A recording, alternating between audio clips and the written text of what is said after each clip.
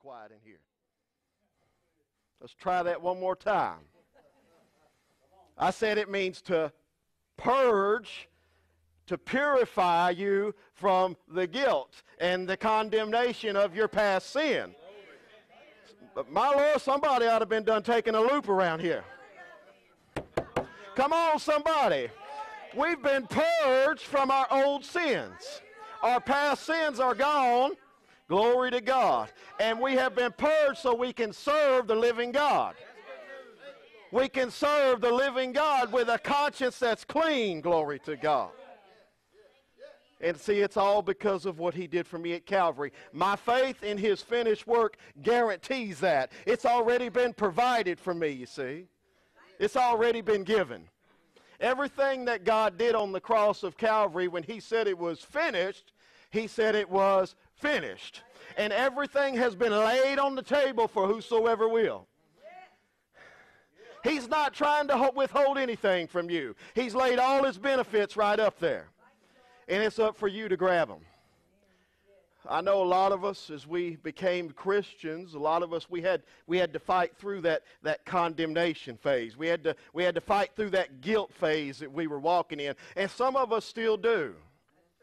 Some of us are still walking in it. Some of us think, well, I, I, I, I kicked the cat and I cussed the dog this week, and I, I'm just not worthy to go into the house of God this week. God don't see it like that. God looks at one thing. He's looking at where your heart is, and if your heart is looking at what He did for you, and God says He's clean. Hallelujah to the Lamb of God. I said, God says he, He's clean, glory to God. He's justified. He is sanctified, glory to God. He can come on in to my presence now. He can come on into my house. That's what that word purge means. We've been purged from the sin and the guilt that we used to carry around. And listen, the, the fruit and, a, and an effect of the conscience being purged is a true service to God. True service, when we're purged, when we realize we're purged and we're guilt free, that brings forth true service to God. I'm talking about a liberty to serve God. I'm talking about a confidence to serve God. We, we're confident about what we believe here in this ministry. Why? Because we've been taught properly. We've been taught it's the cross plus nothing else. You can't add to it, you can't take away from this message. I said, You can't add to it and you can't take away from this message. The moment you do that, you are trying to say to the Lord, Well, what you did at the cross just wasn't good enough for me. I got to help you. When you try to add to something He did, you see, we've been purged. We don't have to worry about the guilt in the old life that, that, that, bes- that besought us. Hmm purged from a dead work. What is a dead work, Pastor? Are you ready? Buckle your seatbelt. Well, a dead work can be a sermon about another Jesus. It can be a sermon of somebody wanting to be seen of men. It can be, well, you're bowing your head in prayer time, but you're really not praying. It's getting a little bit quiet in here now. But it, it's the truth. A dead work can be that religious thing, you see. That religious thing we do when we, when we, when we walk in with the Lord and we say, well, I'm just going to act like I'm praying here and nobody will notice. That's not the way to serve God. Why even come to church if you've got that mindset? Why even bother putting on a religious mask? You ain't fooling God. You can't fool God. God looks at the heart. Christianity is a condition of the heart. Where is your faith at? And when your faith is in what he did at Calvary, glory to God, he says, purge. He says, clean. Now he can come on into my presence. Hallelujah. Glory to God. That is good news. How many of you read the scripture before, but it's never really inspired you? It's just words on a page. It's because faith has been placed somewhere else, you see. It, it becomes a dead work. It's just you reading words off of a page. How many's ever felt that before? Everybody raise your hand. Whoever didn't raise your hand, you're lying right now. We've all been in that place to where we've struggled and where we've thought, well, God, I just don't feel the Lord right now. I don't know what it is. And listen, you're going to go through seasons like that in, in your Christian experience. But your job is to just keep looking to the cross of Calvary because sometimes you're going to be in, a, in, a, in the trial of your faith. And God is waiting to see if you're going to keep going or not. And he already knows if you're going to keep going or not, but he's going to let you see it. So once we are born again, we got to understand that God has given us an unction from the Holy One immediately that has purged us from a dead work, that has purged us from religiosity. In Christendom, when we begin to serve the Lord, a lot of us there, we've got to go over some valleys. We've got to go down through some hills. We've got, God's got to work some things out of our heart. That's the sanctification process that, that Pastor Curtis has been teaching and preaching on so rightly. That we need to keep walking. We need to keep allowing the Lord. We've got to cooperate with the Holy Spirit and say, Not my will, but thy will be done, Lord. Not my will, but thy will be done, O God.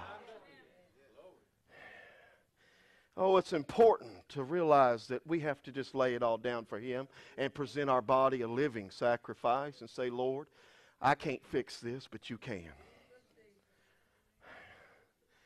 Anytime we think that we can do a religious work, we're heading the wrong way. You, first, you got to understand that you're disqualified.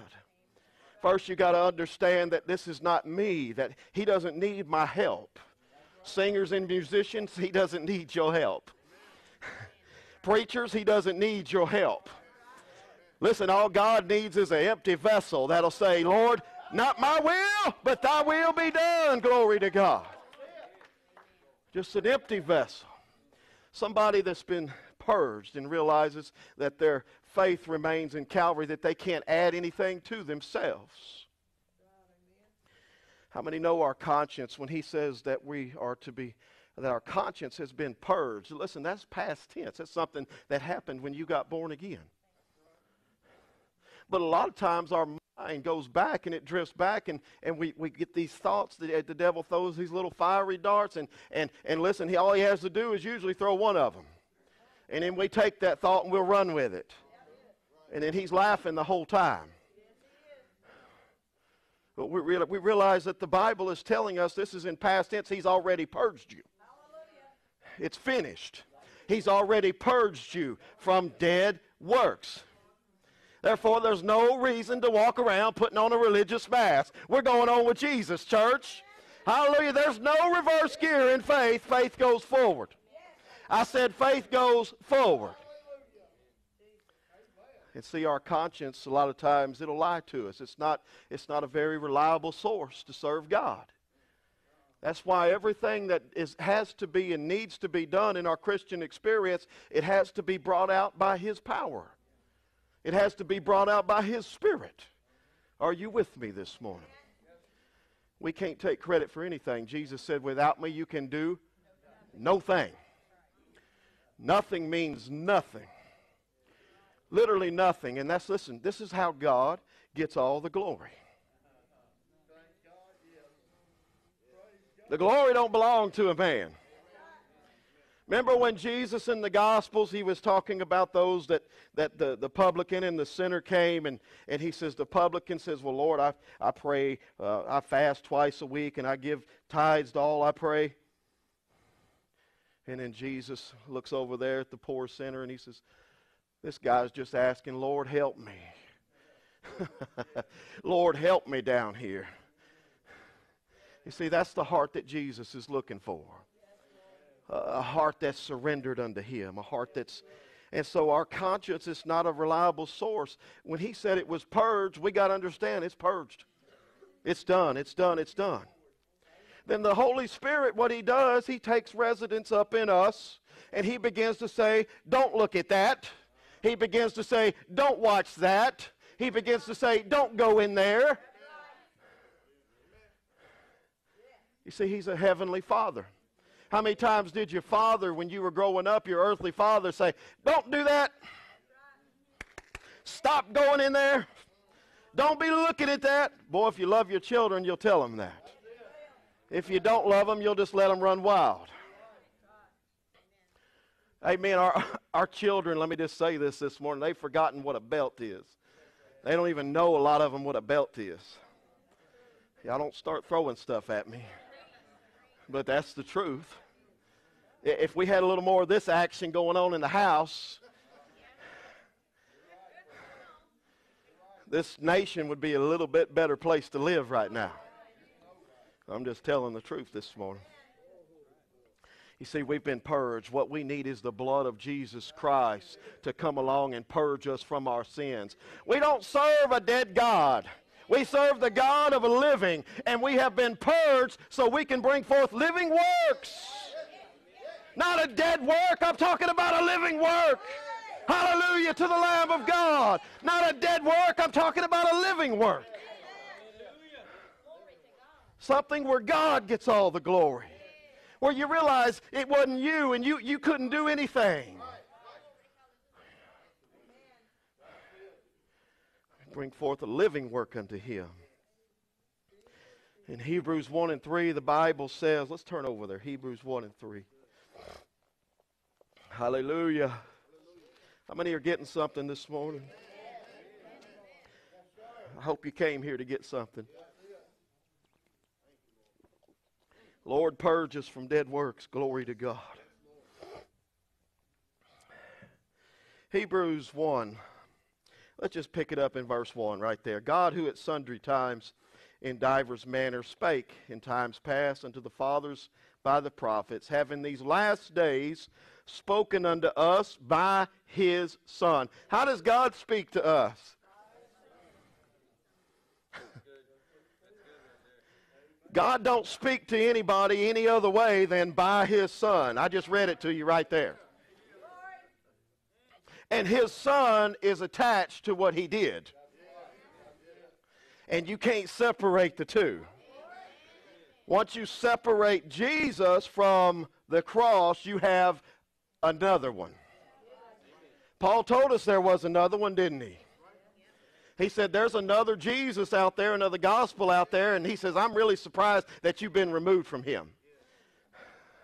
I remember one of the sisters and I were talking this morning about the, the very elect, even the very elect that, that would be deceived. And she asked me what I thought that, that that's you and I. Who's the very elect that could be deceived? That's everybody. That's everybody that takes their eyes off the prize. The prize is Calvary. Glory to God he speaks to us by his Son, who he have appointed heir of all things, by whom also he made the worlds. Isn't that amazing? in the beginning was the Word, and the Word was in the beginning. Who was the Word? By him the worlds were made.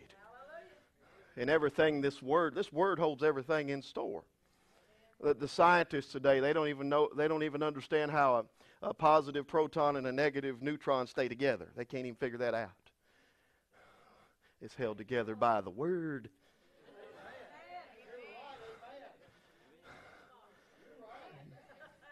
That's the truth. Check me out. Hallelujah. Who being in the brightness of his glory and the express image, now watch this, of his person and upholding all things by the word of his power, when he had by himself purged our sins. By himself, he purged our sins. It's almost offensive for us to walk around as Christians going, Well, I guess he just hadn't forgiven me of this one. I've done it too much. His blood works, saints. Not sometimes, it works every time. Go to, glory to God. He says, by his power he had purged. By himself he purged them. He didn't need nobody's help. The law wasn't needed to purge us from our sins, it was just needed to show us what we were. He purged our sins, and then he sat down on the right hand of the majesty on high. You see, when Christ said it was finished, he said, That's it. I'm going to go sit down now. And he's still on the throne right now, sitting right there with nail scars in his hands. Why? He didn't say he was finished when he raised from the dead, did he? Although that was proof that he died. Although that was proof that he died, but he said it was finished when his blood poured out. He said it was finished when he died on the cross, glory to God. He didn't need anything else. Glory to God. He didn't, listen, the earth didn't quake when he raised from the dead. Did you notice that? And the veil in the temple didn't rip when he was raised from the dead. But when he died on the cross of Calvary, hallelujah, that's where I was purged. That's where I was bought, glory to God. That's where I was forgiven. My Lord. I'm forgiven this morning. You're forgiven this morning. I don't have to walk around in guilt and condemnation anymore. He's taken it all away. He's washed it. He's purged it. And if you don't believe He's purged it, then you're going to be walking around in dead works. Dead works. Just wearing that religious mask. It's just going through the motions and and listen, I understand. I know how it is sometimes. We come in here and, and, and, we've got prayer on Monday and we've got church on Wednesday, and, and things can get kind of mundane and, and, and repetitive, can't they? And sometimes you feel like you're producing a dead work. But see, that's when we go back to where victory was won, when that thought comes. We go back to the cross. We retreat back to the victory side. And listen, it's always there. He's, he, God is not hiding the cross from us somewhere. He's not putting it out of sight where you can't see it. You're the one that's left it. You're, you're the one that's left it if you're walking around in dead works. Because this thing works, glory to God. I said, this thing works. This thing, what we have works. Hallelujah. Anytime you go back to the victory side of the cross, He's going to pour out His Spirit because He sees faith. Without faith, it's impossible to please God. The victory side. We got we should be bold. Bold. Bold Christians, man. That's what God's looking for, somebody to stand up. Listen, there ain't much time left. There ain't much time left to go around telling people about Jesus. Everybody you run into at the Walmart, you ought to be telling them about Jesus. Glory to God. Invite them to church, praise the Lord. Tell them I know where there's a good church at where we got some cross eyed people preaching this gospel. Hallelujah. Hebrews chapter 10. I want to flip over there. Hebrews 10, 19 through 23. My Lord, we serve a loving, faithful God this morning. He's purged us, He's forgiven us, and He's washed it all away. And sometimes we just need to be reminded of that. We can come into the boldness. Hebrews 10 19 through 23, he says this Having therefore, brethren, boldness. Having therefore, brethren, he's speaking to you. He's speaking to you boldness to enter into the holiness by the blood of Jesus. So he, he's given us a way to come enter in boldly right here. But he said it was through the blood of Jesus. Lord, I prayed five hours this week. I can come on in now. That's a dead work. God sees that as a dead work. That's not a living work. A living work is something that has been, you've been empowered, you see. You, he's given you provision, He's empowered you for service.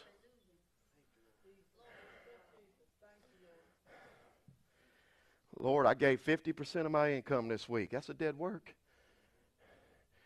It says right here, we come boldly in by the blood. And I love that word boldness that's there.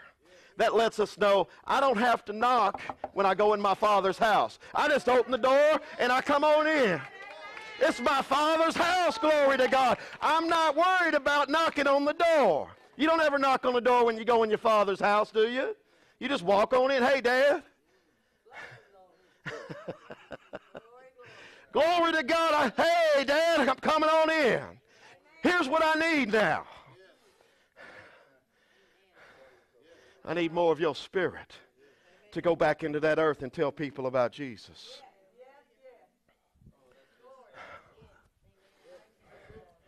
He told us that we can't do anything without Him.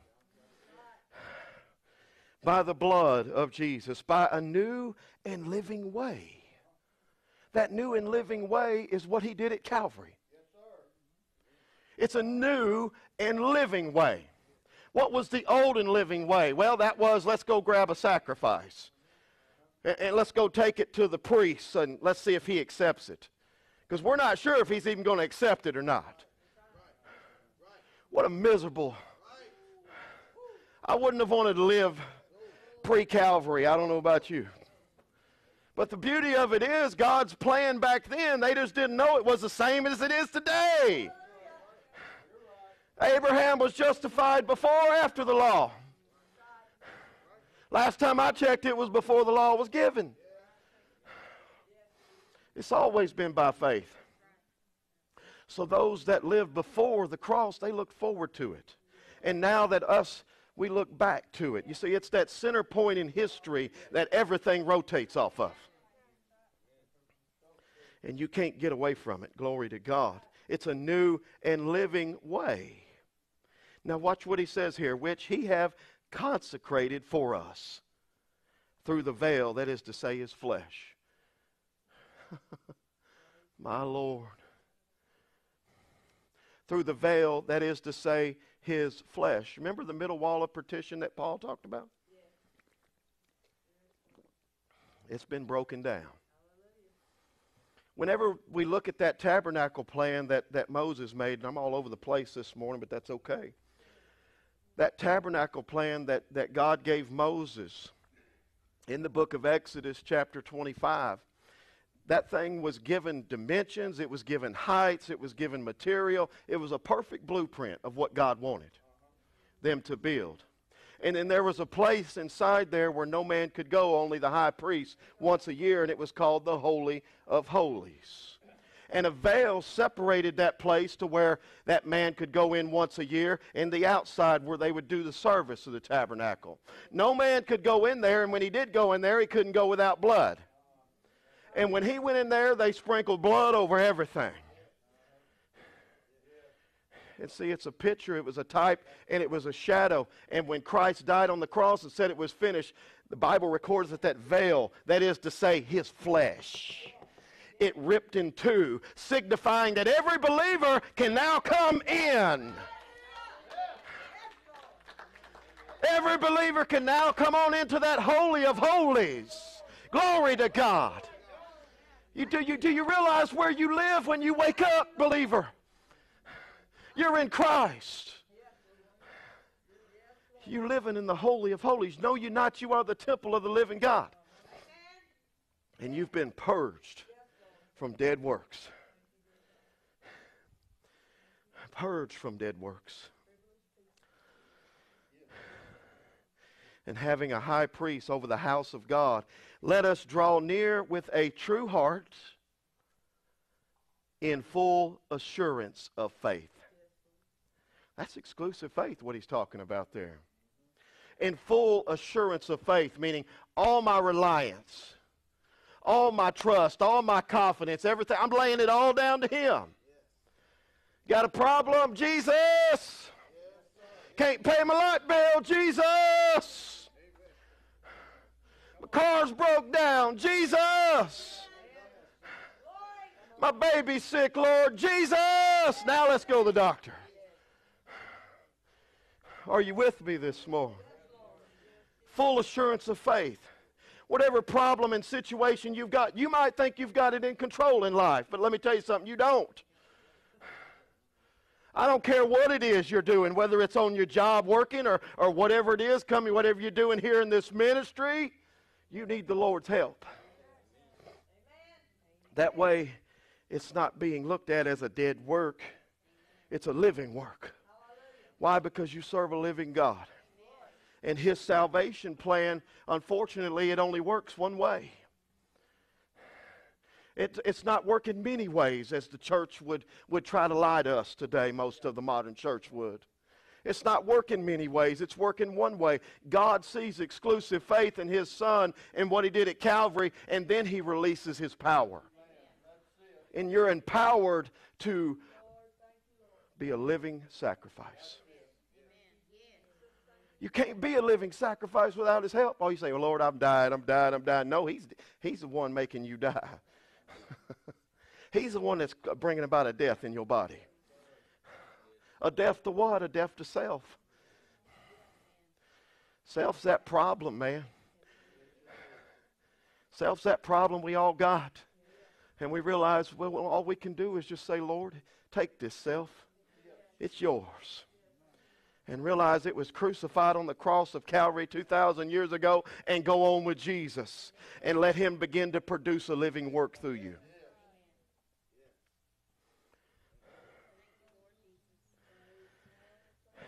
He says, having our hearts sprinkled from an evil conscience. There it is right there.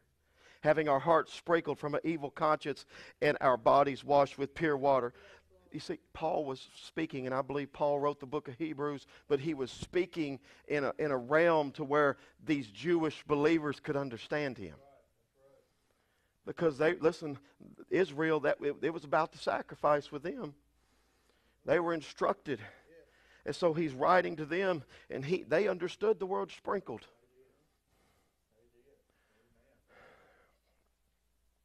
He says, Let us hold fast the profession of our faith without wavering, for he is faithful that promised. He is faithful that promised. You know, Luke 174, it says this that he would grant unto us that we, being delivered out of the hand of our enemies, might serve him without fear. Do you know how much of the body of Christ today walks around serving the Lord in fear? But it's God's will that you serve him without fear. Now, it's good to have a good, healthy fear of the Lord because that'll keep you going the right way when your flesh wants to take you the wrong way. Now, God's given us those. Fear him that can cast you into what?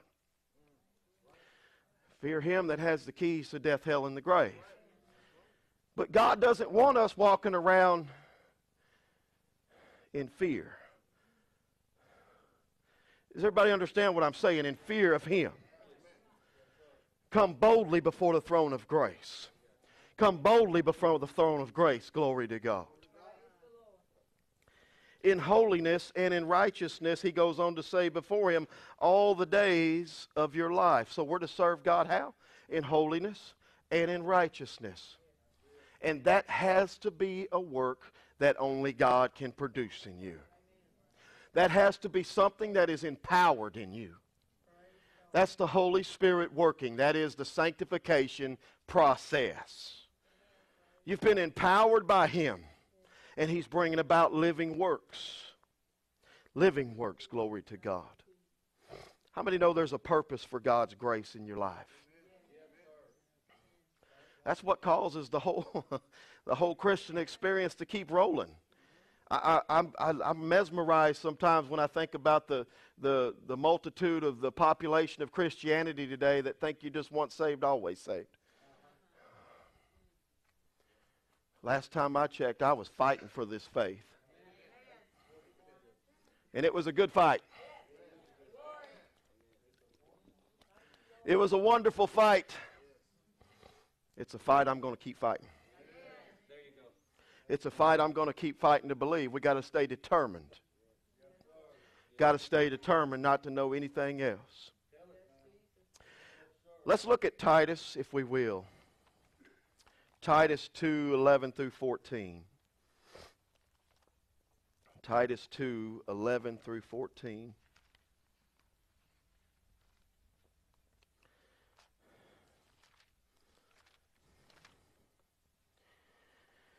It says this For the grace of God that bringeth salvation have appeared to all men teaching us that denying ungodliness and worldly lust, we should live soberly, righteously, and godly in this present world. Now, we've been dealing with this subject right here. We've been talking about sanctification here recently in the ministry. And listen, it's been enlightening for me. I don't know about you. And that's what the Holy Spirit should be doing in us. But he says right here that we should live how? Righteously and godly in this present world.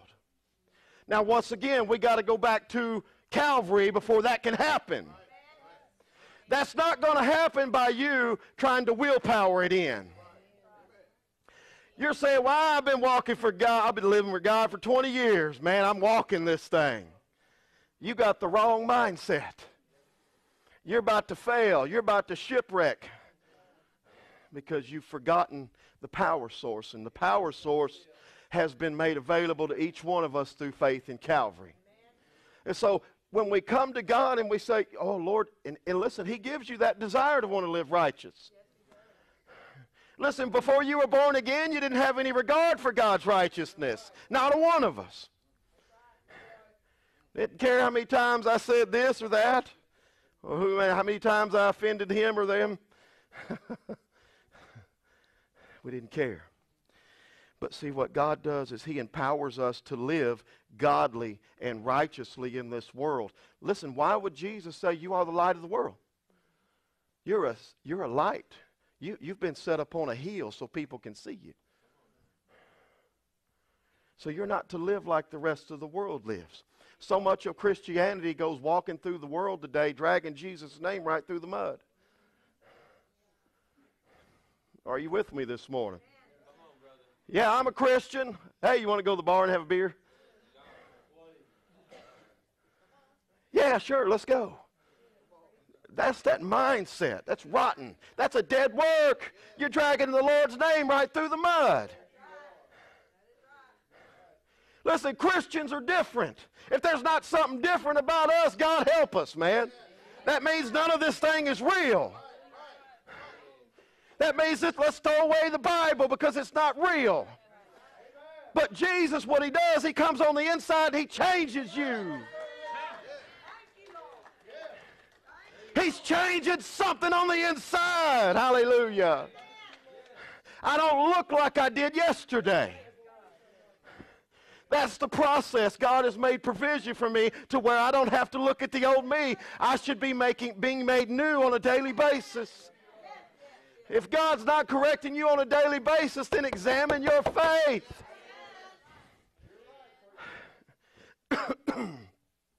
and ask yourself, is my faith in the cross? because I, I'm not hearing the correction of the Lord. My Bible says that He loves those He chastises. Every son whom He receiveth, He chastiseth. God, God's in the correction business. And, and see, we need to allow that. It's not a very comfortable thing, but we need to allow that. We need to go ahead and say, Lord, I'm going to the cross. Go ahead. Just be easy. I've said that before. I ain't gonna lie. I know how rough it can get. Lord, be gentle, please.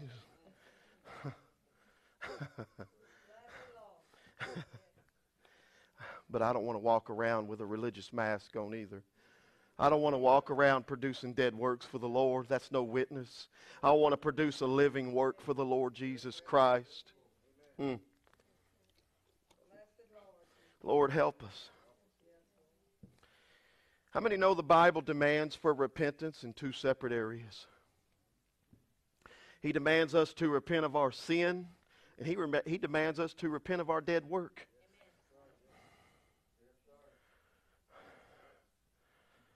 We've got to be repenting of the good we do sometimes. I didn't miss a day of prayer the whole year long. but I sure didn't want to go. That's a dead work. Am I helping anybody out there? I know y'all don't like me this much. I know y'all don't like me very much this morning, but I'm here to help you.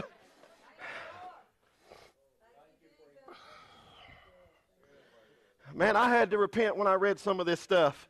Man, Lord, I didn't realize, yeah, I did it again. God help me. And that's what he wants to do. That's what he desires to do. Thank the Lord for that. Thank the Lord he ain't going to quit on us. Hallelujah. He not going to quit on us. Hallelujah. If you don't quit, he ain't going to quit. My Lord, glory to God. We got to repent from that which is good, too. Maybe we weren't producing it with the right power source. We got to repent of that.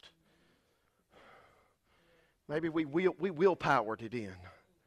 And see, it's not until you go to the backside of the desert till you really, really, really, really, really, really learn that.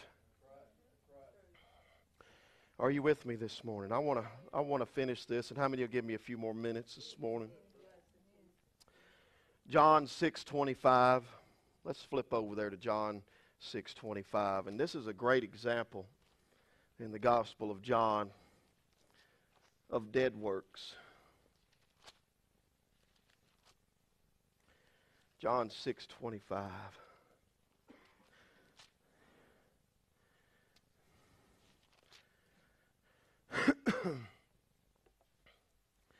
Great example right here. In John 6:25 it says, "And when they found him, on the other side of the sea, they said unto him, Rabbi, when camest thou hither? And Jesus answered them and said, Verily, verily, I say unto you, you seek me not because you saw the miracles, but because you did eat the loaves and were filled. Wow. Did you see that? In other words, you didn't seek me for the right reason. You were, you were seeking me through a religious experience. You were seeking me on the outside, but your heart wasn't truly in it. That's what God has purged us from this morning. Do you know that? He, he's purged us from that. He, he's given us, and, and He desires that all His people become that living sacrifice that they become that living sacrifice that he so desires to use in this world. And that living sacrifice, it has to be empowered by him. It don't work any other way. Whoever told you that willpower is how Christianity works lied to you. Willpower is your first enemy. You can't do it. You got to understand that. And then Jesus would tell him here right after that, he says, Look, labor not for the meat which perisheth. Don't labor for that which you see. Labor for that which you can't see. I made a statement at the beginning of the message before we got into the message this morning. I, I wish we didn't even have to have a share-a-thon. I really wish it was that way. I really wish sometimes I had a million dollars to throw at Crossline TV. so we could get this gospel out. Why? Because I want to store up my treasures on the other side. I want to store up my treasures in heaven where moth and rust do not. Listen, when the trump sounds, what's it all going to be? Make a difference. You can't take your money off this planet. You can't take your house or your Corvette with you, your wife. Store up your treasures in heaven, glory to God. I'm trying to give you some wisdom this morning. Storm up on the other side. Because when you get there, it's going to be eternal. And listen, if you're making plans down here, you've missed the whole picture. Because we're, we're, we're just like a spider web, man. We're here one day and gone the next.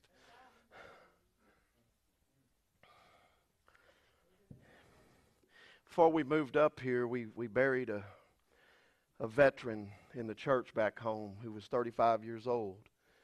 Died at early age. Went over there and he had seen some things and he had had a, a heart problem. And um, I believe it was Desert Storm. He was 35 years old. And his mother, I believe this was her third child, she had lost. Now, I've lost one, but I don't know what it feels like to lose three and my heart just broke for her. And, and oh, you, you just want to help somebody like that, you know. But I'm here to tell you we don't know one day from the next how long we're going to be here. That's why it's important to lay it all down at the cross and say, Lord, use me. Use me, Lord. This life I'm living has got to be for Him. This life I'm you're living, it's got to be for Him and His will. And it's only going to be brought out by His will and His power. It doesn't Christianity won't work any other way. Jesus said, Labor not for the meat which perisheth, but for the meat which endureth until everlasting life. Everlasting life. Remember when Jesus he came to some of the Pharisees and he says, You profess me with your mouth, but your heart is far from me. That's, that's a dead work. That's something that's dead. It's not living. Well, listen, whatever God anoints comes alive. And He's anointed each and every one. Of, if you're born again, you're anointed. Whether you realize it or not, He's given you, He's made available to you. Let's say it that way. He's made available to you the unction of the Holy Spirit. The Bible tells us we've been given an unction from the Holy One. And why did He give us that unction? So we could realize and hear truth when we hear it. But the church sadly has become to a place today where it's not even it's not even hearing one ounce of truth anymore. It, it's hearing a big fat lie. And God help it, man. I tell you what, I wish we could I wish we could reach this whole world with Crossline TV and, and how God's using SBN right now around the world. I thank God for all that. I do but there's so much more ground we need to cover. Labor not for the meat which perisheth. Listen, he's going to purge you from dead works, and you need to allow him to do that. God wants to bring us all out of that religious mindset where we just want to be seen of everybody else. Are you with me this morning? Watch what he says. But for that meat which endureth unto everlasting life, which the Son of Man shall give unto you, for him hath God the Father sealed. Then said they unto him, What shall we do that we might work the works of God? Now, this is what we're talking about this morning. What can we do? What can we do? What can we do? We know we've got to present our bodies a living sacrifice, right? We know we've got to keep our faith anchored in Calvary, right? But watch what he says. This is he's talking about a work here, and Jesus answered and said unto them, This is the work of God, that you believe on him in whom he sent. Hallelujah. If you want a work to do, believe. You want to go to work? Start believing.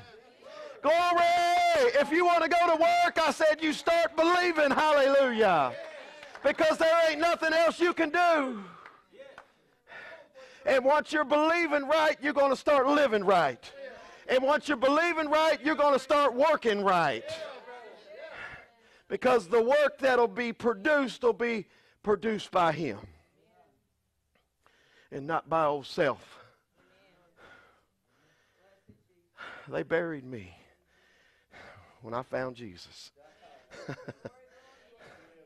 I went down into the grave with him.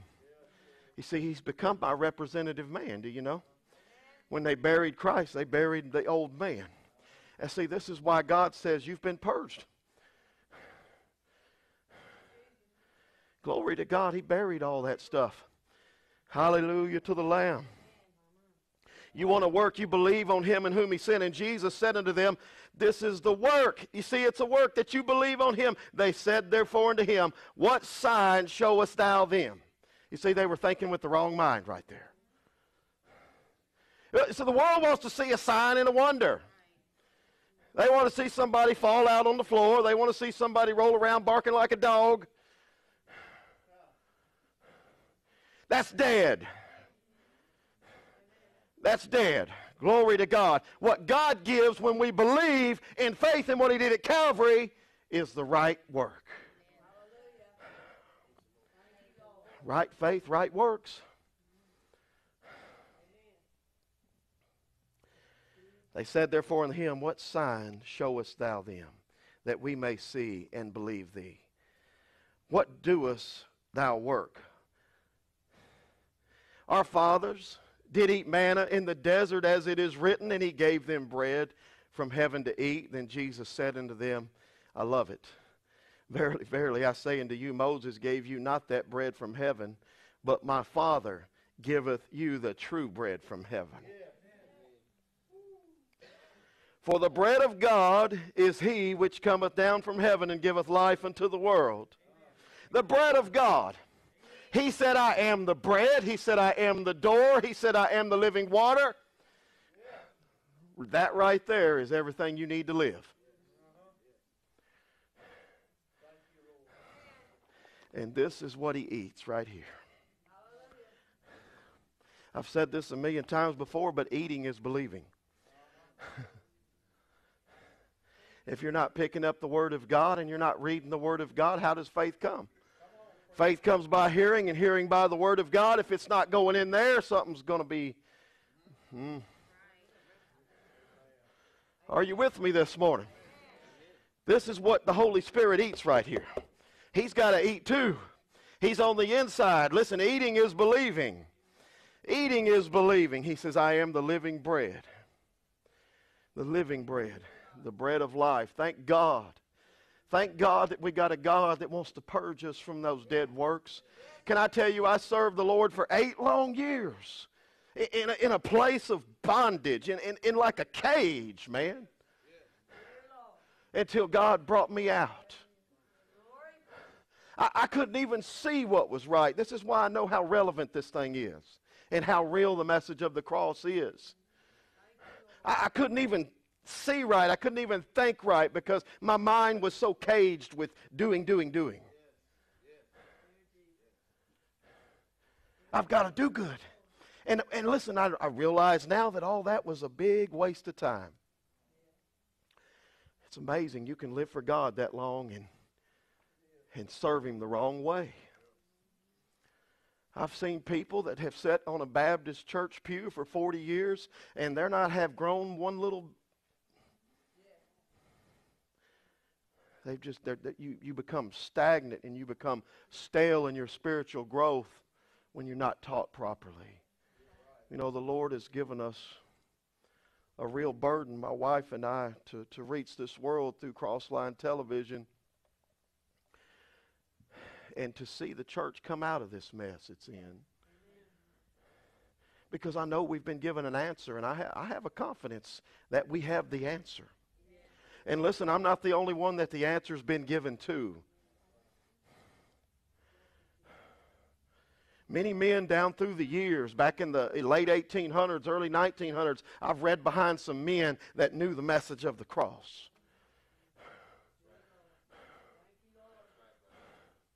But the church has just veered off. They've left it. And listen, it's, it's, it's miserable to live like I was back then.